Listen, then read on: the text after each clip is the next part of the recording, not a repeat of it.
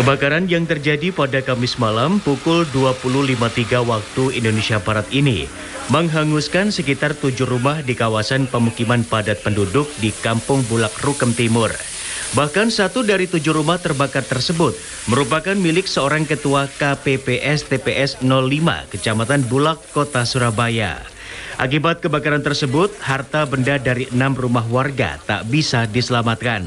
Karena enam rumah ludes terbakar tersebut merupakan bangunan semi permanen yang terdiri dari dinding kayu dan seng. Untuk memadamkan kobaran api tersebut, sebanyak 8 unit truk pemadam kebakaran datang ke lokasi kejadian. Karena cepatnya kobaran api membakar dinding dan atap, dan hampir sebagian rumah tak lagi bisa diselamatkan. Bahkan pemilik rumah yang terbakar ini akhirnya ditampung di rumah salah satu warga. Dari rumah tetangga, Pak. Dari rumah tetangga? Iya. Terus Ada yang ada bunyi letakan, kan tetangga kan pulang desa, Pak.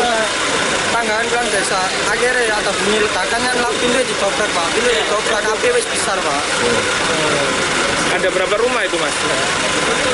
Yang kebakar habis bersih dah, Pak. Sekitaran 4 lekaliman, Pak.